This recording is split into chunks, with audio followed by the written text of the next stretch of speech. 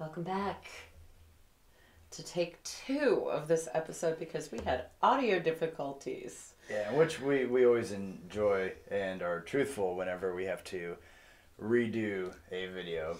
Although we don't have a whole lot of outtakes while recording, we just have had to re record a couple of times. We need to get in the habit of sound checks. In which we, we finally did on this one. Oddly enough, everything decided to, every microphone decided to turn on at the same time. Yeah, so our webcam, our computer, double mic, and then our microphone microphone, which is behind Baphomet here. It's been fun. We got a lot of jigger rig. I mean, it works, but a lot of it's jigger rigged. I like how the, though like it hides perfectly behind. They line up nice. It, it's wonderful, and like the, the it goes right with his mohawk thing. It's just it's beautiful.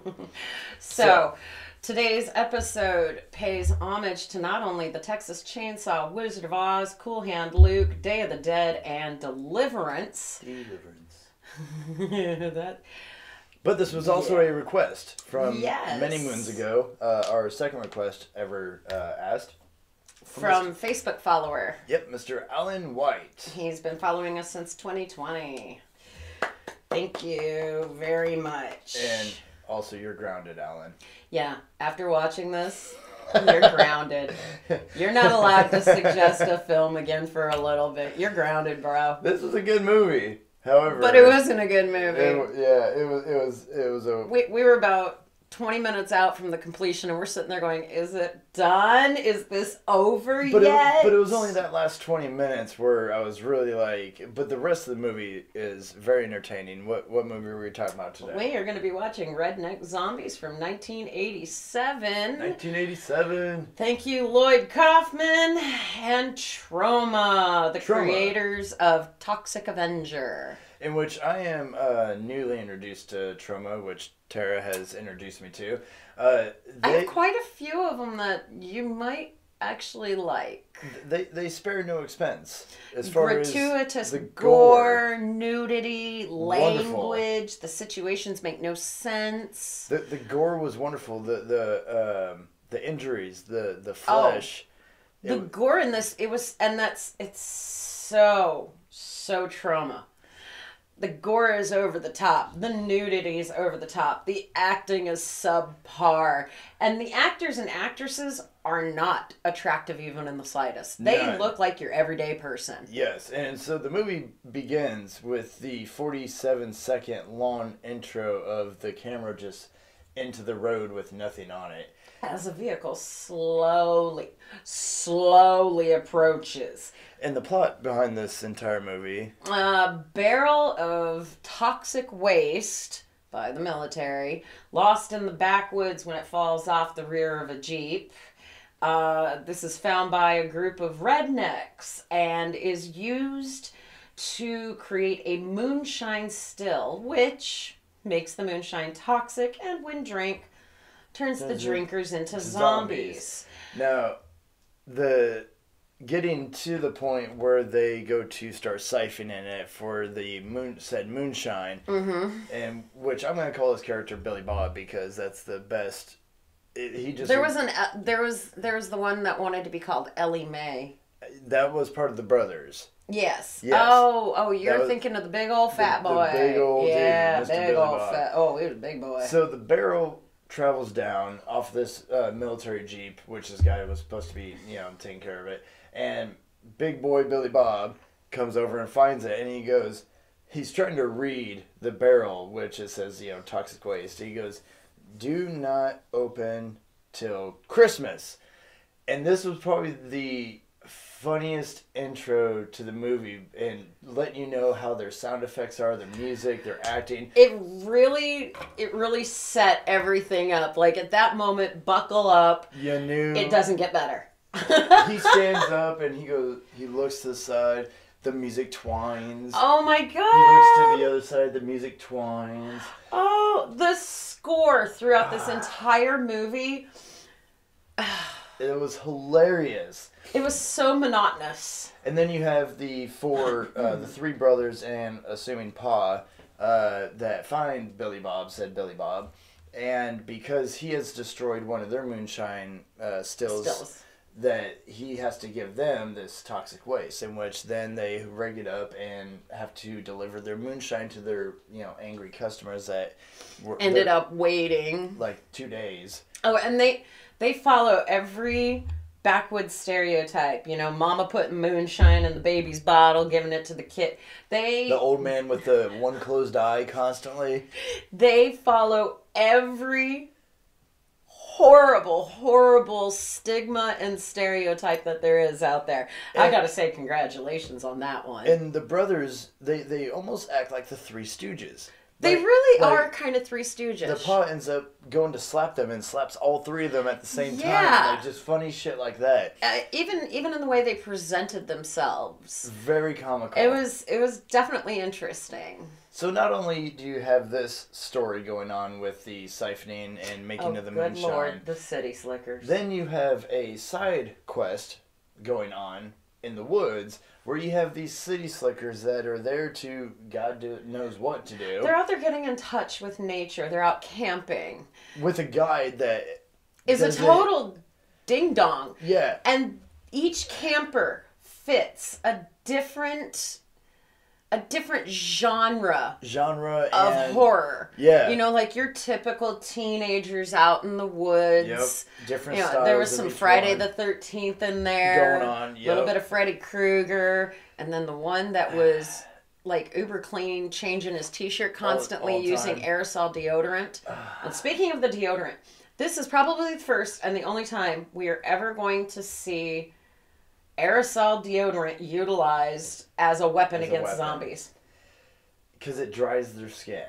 Now, only a particular one though, kind of like from uh, Evolution with the uh, it's got to have the head and shoulders with the the sulfa blah blah blah blah yeah, with that one. yeah Uh, this deodorant has to have a specific chemical in it in order to dry the zombie skin out. Now, that was kind of jumped forward. Jumping back, the reason why they had to come up with this is so all these people start drinking this moonshine and turning into zombies, which then end up chasing said city slickers one by into, one deeper into the woods and taking them out one by one. So then they end up catching a zombie and killing it. And oh my god taking it to the cave. Now, yeah we noticed. they end up they ended up in a cave all together as they were running. we noticed as the movie progressed. There's one particular character. I can't remember his name right off the bat. Uh, there's this uh, this black guy that's uh, the kind of comic relief of the movie, even funnier than like. yeah, even from the beginning, he he was the funnier of the group. And he starts off kind of serious, and then again, as the movie progresses, he, He, gets, got weirder, weirder and, and a little his- more and eccentric. his hair starts changing, and, and we're like looking at him like, is this an Easter egg? Like, what's going on Our our uh, question was answered very quickly when in the cave? when a tripping sequence, like a very out of sorts trip sequence. He explains that he had, when they first got there, he had taken a hit of acid, and has progressively, you that know, would make going camping interesting. right, going further into his trip. Well, then the other campers want him to, like, dissect, Dissect. like do an autopsy On on, zombie. this zombie. And what we're seeing is guts Organs, and guts. all sorts of stuff being pulled which out. Which they did wonderfully on. By Absolutely. The way. Oh my gosh, all the, guts and, the- gore the was dripping. oh, guts and glory. Wonderful. But what we're seeing is guts, but what he's seeing They do a quick flip to show what his reality looks like. When, when he's pulling something out, say he was the pulling out the pancreas, it was a boot. He saw a boot, and he's, He's just like- sitting there like, "What else has he got in He's here?" like, what is this boot doing in here? Flings at his side, and yeah, he starts digging through the body. it was it was really quite interesting. finding all this random shit, and then all the other campers are seeing what's really going on, which is a bunch of, and then he tries to crawl inside the body.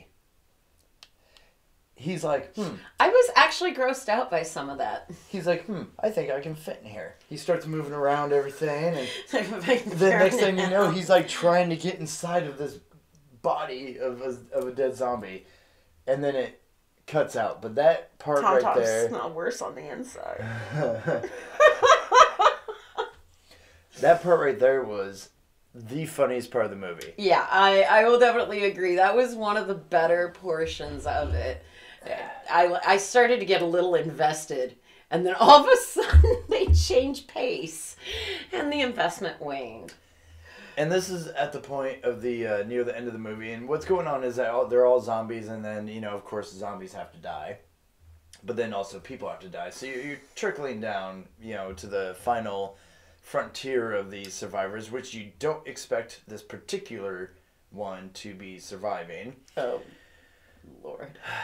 But this, and this is where I'm saying this last 20 minutes, 25 minutes, it, the, mo- the movie could have cut ah. out and you would have been perfectly fine. Well, and the reason I felt that last 20 minutes sucked so bad is because you'd start. At the end of a horror movie, you kind of get an inkling that the close is coming. The conclusion. Yeah, you get this. You get this little feeling like, all right, here comes the end, and it's not over yet. Okay, here comes the And then they end, jump to and something it's else. not over yet. But and it's not even exciting shit. It's just moving on to a different location or a different dialogue. Yeah. It's not even exciting. just when you think it's over, it's not.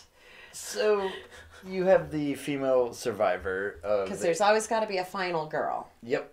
In which Billy Bob as a zombie There is a uh, unwanted advancement type of sequence. better wording. which results in a unexpected and unplanned pregnancy. from zombie to human. It was the most ridiculous. All I could think is, you know, they were having body parts falling off and stuff. Why didn't his I don't. uh, fall off? I don't know. I mean, that would have been funny. Come on, Troma, that would have been funny Because, like, if the Like some Yeah. of them, like reacted to the moonshine differently and like had boils and shit like popping. yeah, and, everybody like, seemed to kind of react to it yeah. different. Some of them would die from it. Others became zombies, and so you, it didn't really explain It's any of that. peculiar. This was a great movie. Besides the last twenty minutes, it was hilarious to watch. It had everything that a B movie It needs. followed all the rules. There were one note characters, cheap effects, crude cinematography. This was a $10,000 estimated budget. which is crazy. all of it definitely To the went guts. into the blood guts and it was fantastic. There's there was a part in the movie where the zombie uh, attaches to. Uh, oh, he took a chunk out of took- her neck. Yeah, and it looked wonderful. It sprayed In the, the right way direction. it should. Yeah, Like was- somebody definitely paid attention to how blood splatter works. It was wonderful. I, the flesh coming off of it, the flesh that was inside the neck, yes. like looking the if you're looking for gore, Troma movies, that is where you need to go for gore. Their makeup for the zombies was horrible, Absolutely awful. but their gore to be gore was spot on. It was the epitome of what you look for in a B movie. But it was torture. It was a three out of five for me. I will go three as well, simply because there were there's a nostalgia of watching movies from that brand. Oh, absolutely. There is for me. There's a nostalgia hmm. because I grew up on the Toxic Avenger and Tromeo and Juliet and all that stuff. And which it being, you know, from 1987, I mean, you're t- talking 30, 33, 34, how, how Well, let's how see. am I was six years old at that time, and I'm 40 now. Well, I can't remember how old, I- what am I, 34? Yeah, you're 34. Yeah. Born the same year. That's what I was trying to figure out. But yeah, being 34 year old movie, it held its value as as the sense that it was a great B movie. The the makeup. Oh, it's like, certainly not something. It's certainly not something that would get the go ahead these days. no. it, it You has know, you got have to be a fan of the old. shameless humor. Yeah. Um, very un PC jokes about race, religion, Religion. and even pot smoking. Yeah. This was an extremely in your face, yeah. very un PC film. And that's one thing that we left out. You had the tobacco guy, The tobacco guy was weird. wh- which had a bag over his head, and and and this pretty much was If you like ever saw the movie The Town That Feared Sundown, it. that's that's It made no sense, but he was like selling them tobacco that made them also weird, and then you had the moon. It was Yeah, the whole the tobacco no scene sense. Had no place anywhere in the movie. none, I, I mean, Tobacco Guy does come back again a little bit later. and you can't understand anything that he's saying because He's the one who rescues the final girl. yeah, but you can barely understand everything him. he says has like a, a like a quad echo effect. Yeah, it was it was really difficult to to understand him. This movie we found on Amazon Prime. Yes, Okay, Amazon Prime. We did not end up buying it. We rented, so I believe it was Three like ninety nine. okay, so four dollars. I think. Okay, I so think. four U.S. dollars. Yep. If if you feel Three like checking it out, yeah, go. I mean, I would never tell anybody don't watch this film. Right, because it's a However, some slight inebriation may be necessary. Quite possibly. Yeah. Some inebriation might be necessary for this one. And Alan, you are definitely grounded, mister. Thank you so much, Alan. We appreciate it. But yes, Bad you're, you're, boy. Yeah, you, yeah. Well done. Thank you very much for the suggestion. And yes, if any of you out there have any further suggestions of movies Let us that you think are just total garbage or absolutely fantastic, we'll take the fantastic, please. I don't know. I like I like watching the garbage ones just for these reasons alone. That it's like what what were directors or actors like feeling when they were making these Oh movies? my. Please tell us in the comments movies you'd like to see. If you've seen this one, give your take on it too. We really, really do like seeing some commentary on there. Absolutely. And do not forget, uh, you can follow us on Facebook at Gore to Be Gore. Thank you guys so much. Appreciate you. Yes, thank you very much. And every single one of you have very, very, very, very pleasant nightmares.